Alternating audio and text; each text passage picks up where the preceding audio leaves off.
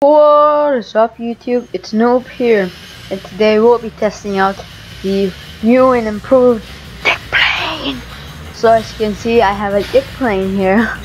I don't even know how they did this but sure let's just try it out. So now when we try it out I see that this is a VTOL engine so you, you don't have wind so you just have to control how, how thing moves. And let's just do a challenge for ourselves how far can it go? Can it go all the way? Can it go halfway? Or can it go, I don't know, or can it go all over the place? You know what I'm talking about.